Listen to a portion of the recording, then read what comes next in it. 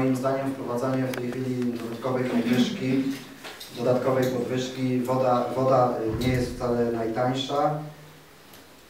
Ścieki też, ścieki wręcz są nawet dość drogie, dość drogie. Nie wiadomo, czy w, y, w połowie roku nie będzie nas czekała jeszcze podwyżka y, śmieci wprowadzanie w tej chwili dodatkowej podwyżki na wodę i ścieki dla mnie jest nieuzasadnione. Proszę bardzo, pan radny Wasiński.